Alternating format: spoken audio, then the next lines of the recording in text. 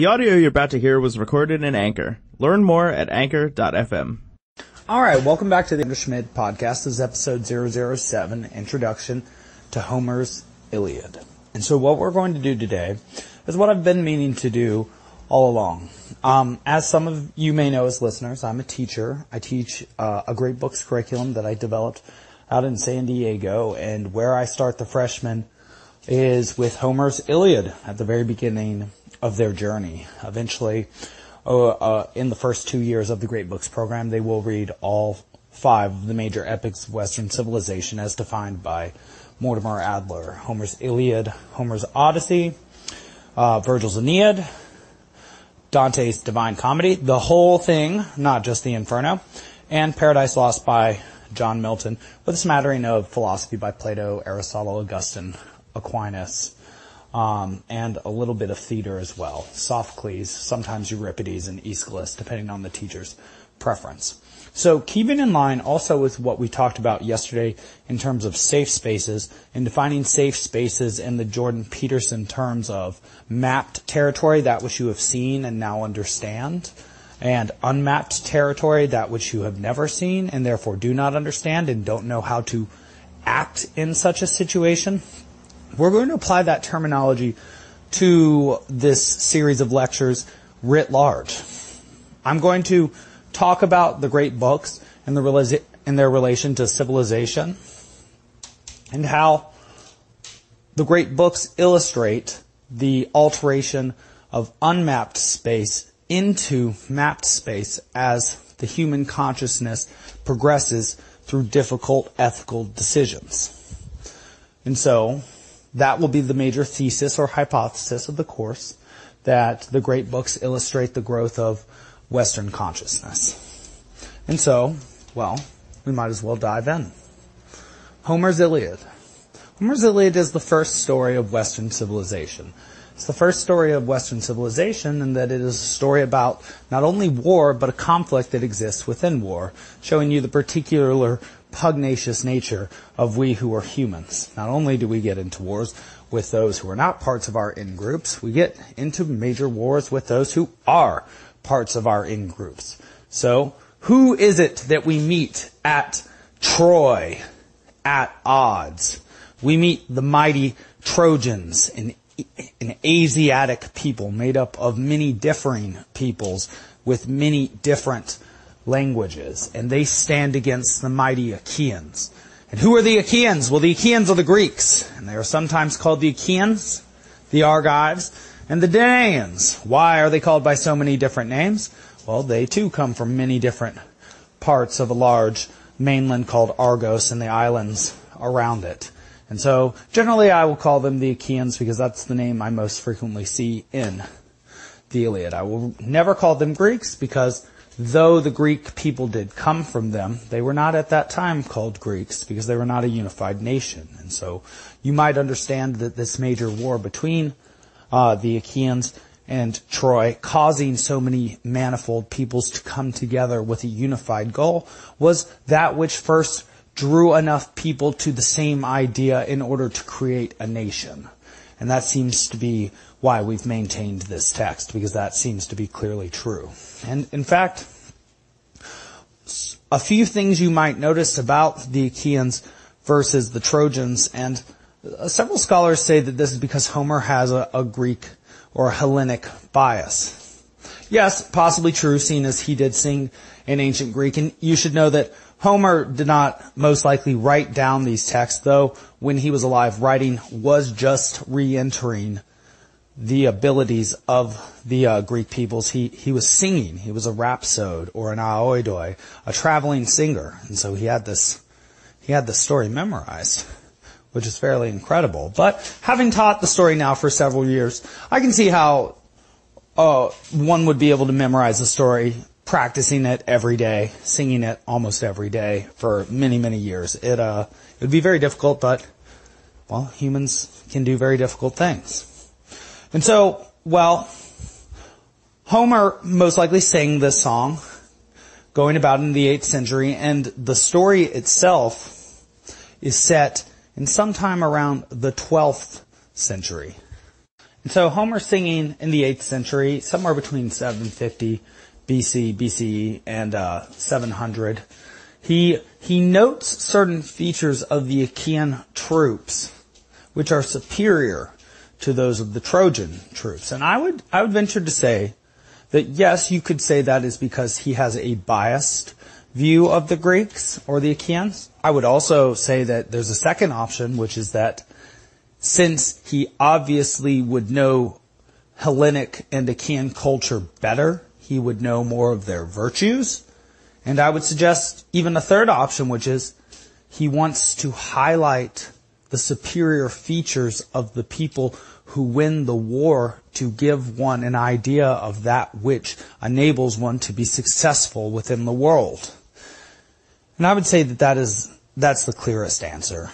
Because, um, Homer does give some interesting changes, uh, some interesting differences between the Trojans and the Greeks. For one, when they engage in combat mass large for the first time against each other early in the text, uh, book three, uh, right at the beginning, the Trojans are wild.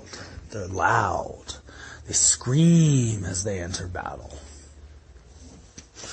Attempting, sort of like you might imagine, like sort of an animal com- engaging in combat with another, uh, uh, like shooting up its feathers or something like that in order to intimidate. But the Achaeans, they're grim and silent. And what does that mean about them? Well, let's, let's add this to another aspect of them. When first forming their troops, so we see them, the wisest counselor of the Achaeans, Nestor. He's an old man by this time. He's essentially the wise old man who's seen so many battles and been so successful that everything he says is essentially correct. And we do not listen to him at our own peril. But at near the end of book two, when the Achaeans and the Trojans are preparing for their first combat in the text, and this is sort of introducing to us the idea of combat in this text and the idea of the first battle that must have occurred between the Trojans and the Achaeans. Although, and I should note this, the Iliad does not start until the 10th year of the Trojan War. And so, everything we see for the first time will model the first time it must have happened in Troy, although it will be happening for, well, what could be the infinite time that something happened. Well, in any case, or you might also see it as, as lo- even when things happen for a long time, unique events still pop up and occupy sort of an endless or infinite space and that they are completely novel in that moment and you could have never seen them coming. Sort of like a snake in the grass or the idea of uh, Cancer, the astrological sign, as as a crab. And so Nestor suggests that the men who are known cowards be kept in the middle ranks of the Achaean soldiers. And what does this do? Why does he say that? Well, he says that so that they can't run away, so that they have to fight hard. So there's a principle of order and structure to the Achaean uh, army. They structure their army in an intelligent way, recognizing not only the strengths but the weaknesses of their own men. That's a strength of them. They're also so well disciplined that even in the face of wild and screaming Trojans about to engage in the most dangerous game, they maintain their, their disciplined silence. And one might understand that these are advantages that the Achaeans have. They have learned more self-restraint. They have learned more discipline. And so one would expect that they will experience more success because of this.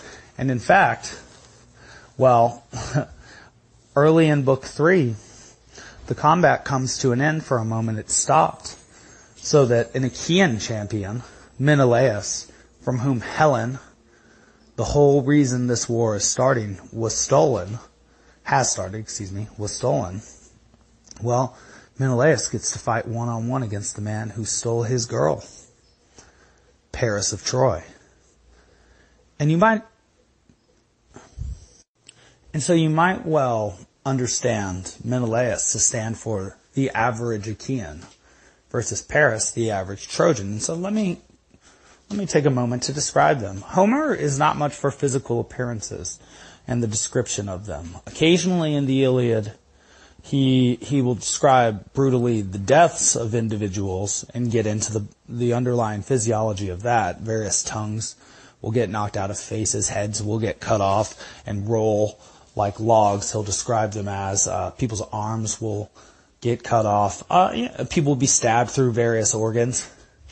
However, in terms of physical description, he, he very often does not describe his heroes. We know that Odysseus, cunningest of the Achaeans, is broad-shouldered and not super tall, and has a dumb look on his face while he thinks. Menelaus is rather tall with red hair, broad shoulders as well, but not as broad as Odysseus is.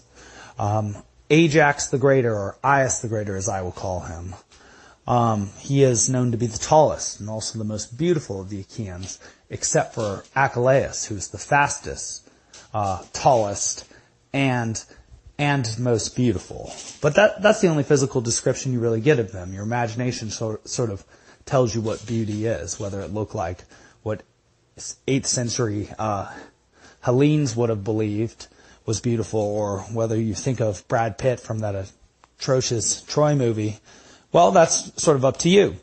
And in fact, Homer, Homer's longest description of physical appearance is the description of the ugliest man in the Iliad, which is a man named Thersites, who, who we will soon come back to. Well, so what we know about Menelaus is that he's a tall, noble looking king. And he fights honorably and has a good heart as often following Agamemnon about. So he represents the Achaeans, because the Achaeans follow Agamemnon. He is their war chief. He is their leader. He brought the most ships. He was the wealthiest. And so, boom, he became the king. That should sound pretty familiar to you. Um, Paris is the son of Priam, the emperor of Troy, son of Laomedon. Paris is contrasted with his brother Hector, who is himself a family man, a good man. His wife Andromache loves him. His son Astyanax will someday rule the city. He fights valiantly for problems he did not cause. We'll talk a lot about Hector. He is deeply noble and a very good man, though he fights on the wrong side of history, which could happen to any of us, and so why why it is important to know the virtues of one's enemy, you might say. And so Paris is quite the opposite of his brother, as you might expect with the old theme of the hostile brothers, Cain and Abel, Mufasa and Scar, Hector and Paris, Loki and Thor, um, Jesus and Lucifer in the Paradise Lost sense. Well, in this case, Paris is a cowardly, beautiful, joking or cajoling weakling. And, well, that's not actually quite right, and it makes it a little bit worse to understand that Paris is very much beautiful and gifted by Aphrodite. He's a pretty boy. Every woman loves him. And that's why Helen, most beautiful woman ever to have existed, is seduced by him, with perhaps a little help from Aphrodite, but we'll explain what Aphrodite means as a symbol later. Essentially, the, the erotic motivational system, you might say, the tendency towards lust and love.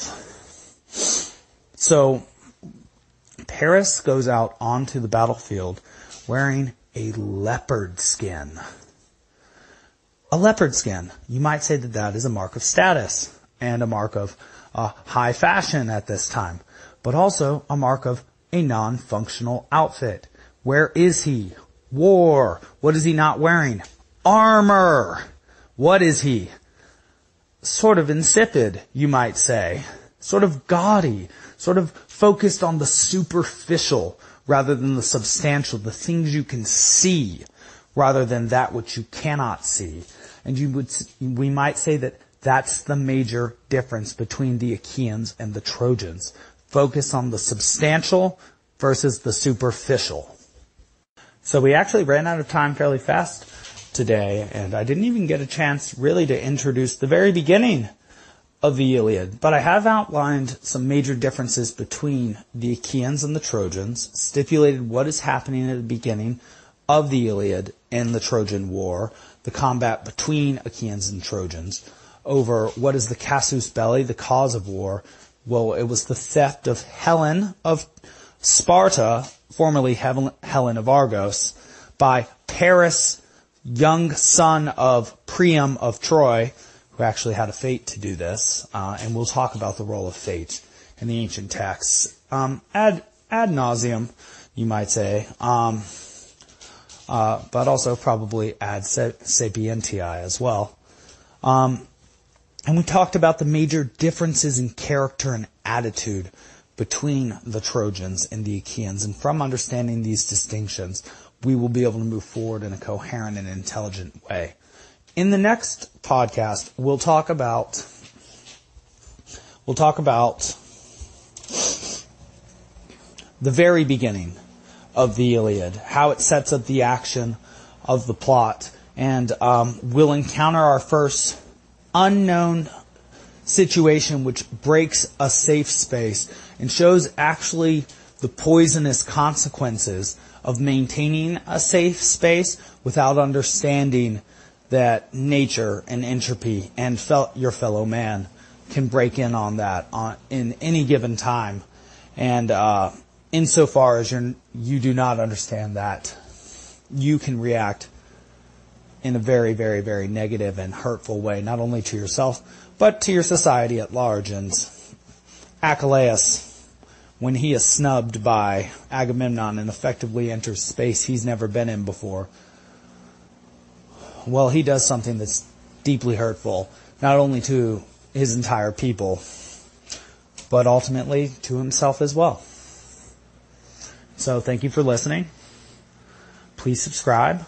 Please listen in. Please post your comments. Please, please share these podcasts and listen to them. And if you have any questions or comments, please share. It's really great to hear from any of you. And honestly, I'm a person just like you are. I love the affirmation. So, let me know. This has been the Alexander Schmid podcast. Have a great day. The audio you just heard was recorded in Anchor. Learn more at anchor.fm.